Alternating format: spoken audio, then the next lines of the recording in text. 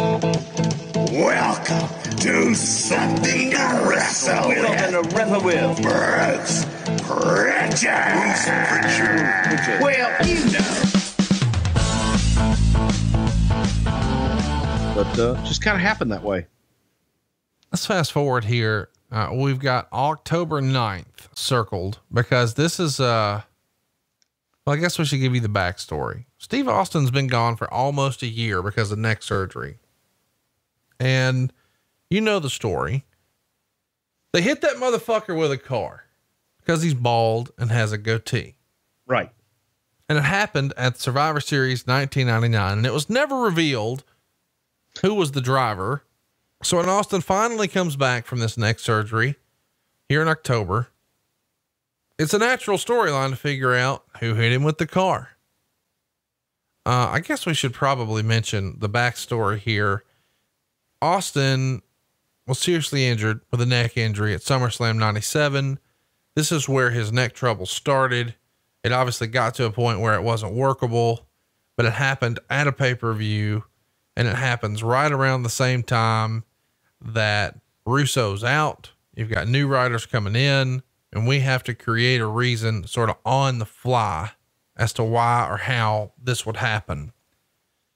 So let's talk about this night of Raw here, October 2000. Rock and Rikishi beat Kane and Angle. They go seven minutes and 23 seconds. Um, Angle gets a rock bottom, and then Rikishi sits on him for the pin. And then Mick Foley, who is the acting commissioner, comes out and teases like he's going to finger the rock as the culprit who hit that motherfucker with a car. But at the last minute says Rock wasn't guilty and said it was Rikishi. Because earlier Scotty 2 Hotty had talked about partying with Rikishi in Detroit that night. And Foley said how Rikishi wasn't even in the WWF at the time. He technically was, but he wasn't doing the Rikishi character on TV. Rikishi admitted it and said he did it on his own to help The Rock because the WWF never let the Islanders headline and the stars were always great white hopes like Buddy Rogers, Bruno Sammartino, Bob Backlund, Hulk Hogan, and now Steve Austin. And by getting rid of Austin, it gave The Rock an opportunity to be the top star. And the Island Boys were never allowed to be big stars. But the explanation and the way he explained why did it is maybe the thing I remember Rikishi for the most.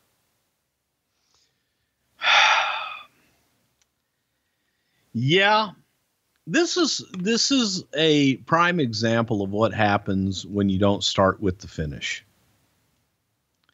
What I mean by that is when you write a book or you go to a movie, no matter what it is, if you're creating the ending in mind, you have to know, okay, this is how we're going to end this son of a bitch because everything we do from beginning to the the middle and the end gets to the big finish.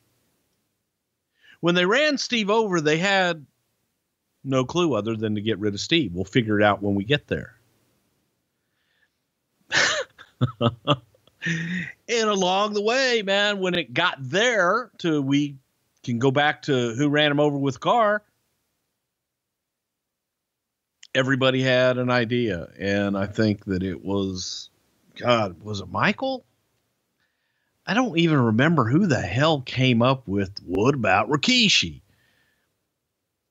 And Vince just loved it because no one will guess that. And I'm like, of course no one is going to guess that because it makes no sense for Rikishi to be the guy to run over Austin. And then just we force fed this this whole, you know, storyline. I did it for the rock. Not a bright spot in our creative tenure during this time because we were just trying to put like uh, square pegs in round holes. How disappointed do you think the fans were when it was Rikishi? Good God, I, I seriously recall a groan. Yep. There, there was a you, you can feel the air come out of a building sometimes, and it was kind of like a, you're, oh my God, oh my God, they're gonna tell us who did it, huh? And then they're waiting, they're waiting for, come on, come on, come on, who's who is it really? And it never came. Yeah. Not a, you know, and, and I was involved in it and, and tried. I mean, it, it sucked. It just, it wasn't, it wasn't something, one, wasn't one of our brighter spots, but we kind of, we went with it. Who else was considered that you remember? Can I freestyle two guesses? Pra- practically everybody on the roster was considered. To me, it would have been an opportunity to do something with Billy Gunn, who you guys had tried to do some stop and start, or maybe even Chris Jericho. But Rikishi,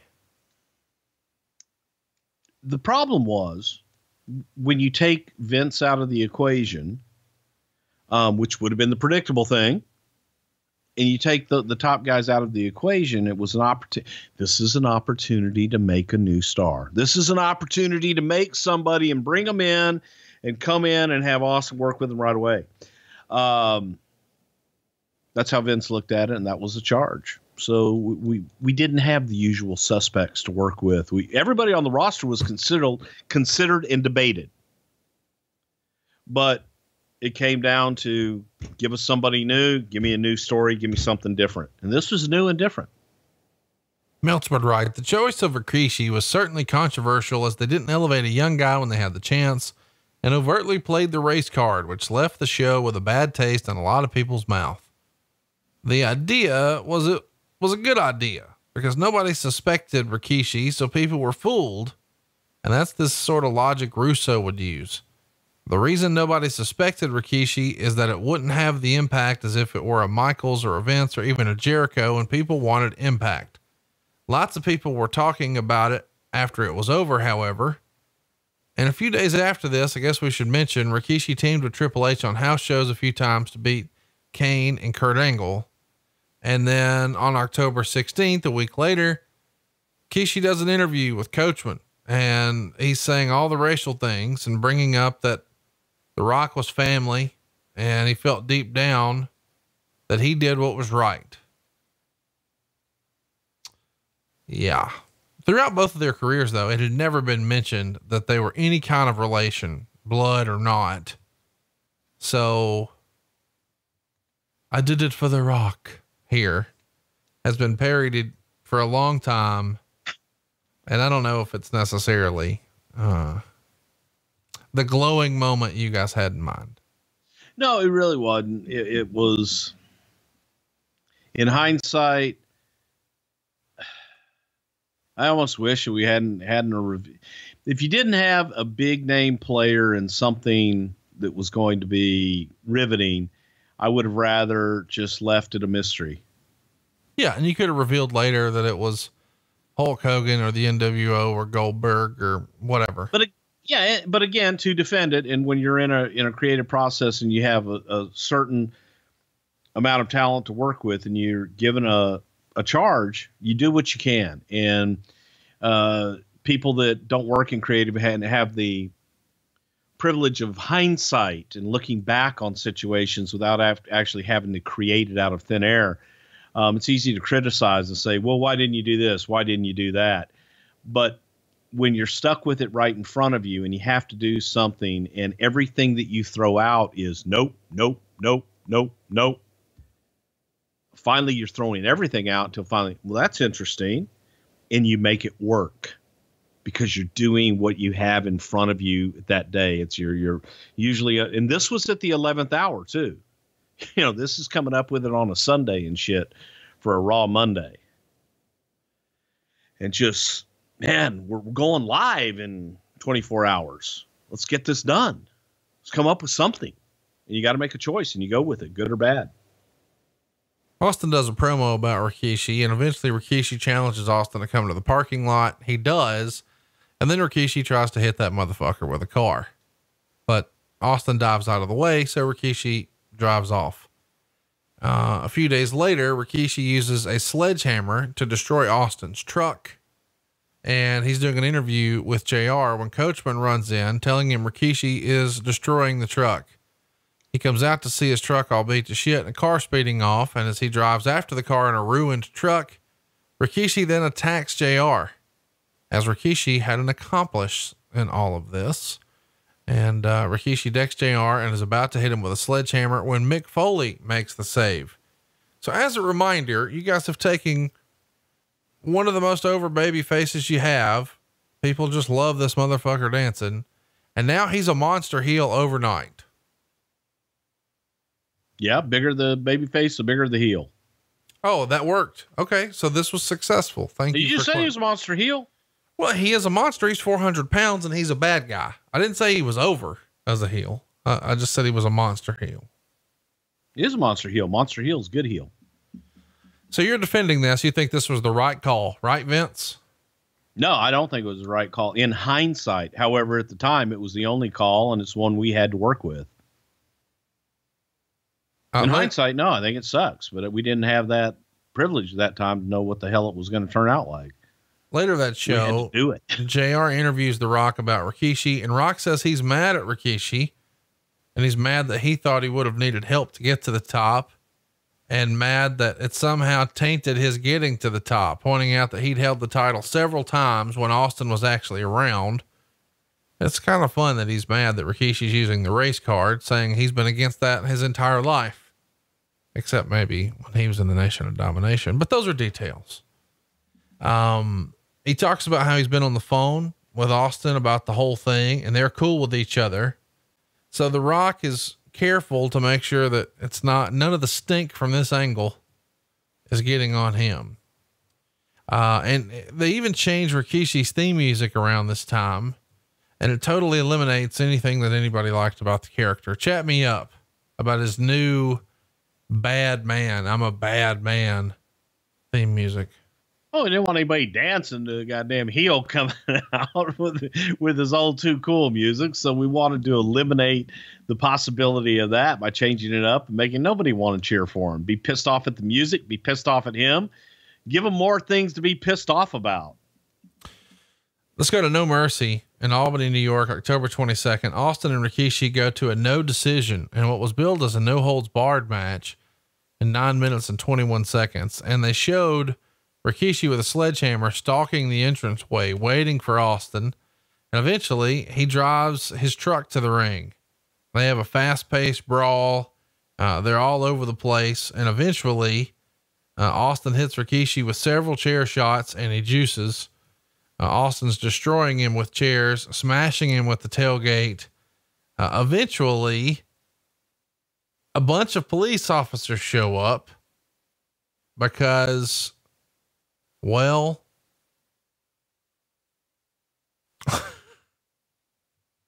Austin deposited Rikishi in the back of his truck, drove out of the building, drinking a beer while he's driving, which maybe wasn't the best idea. And then he puts him on the ground and prepares to run him over when a police car blocks the attempted murder. And uh, then Austin smashes into their car, not once, but twice. So he's arrested. And uh, the officer in the car was taken out on a stretcher. And they talked about Austin being in real trouble because he had injured a police officer in his attempt to kill Rikishi. He wasn't gonna kill him. He's just gonna run him over real bad, make him hurt. Two and a quarter stars.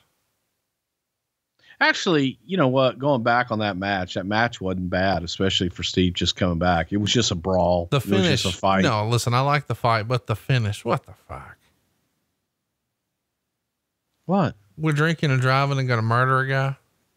Well, okay. Well, that's why the cops came and they stopped it. Thank God. Thank God for the police. Yeah. They don't have another pay per view match after this. They have one more match on Raw, and then it just fucking goes away. Chat me up.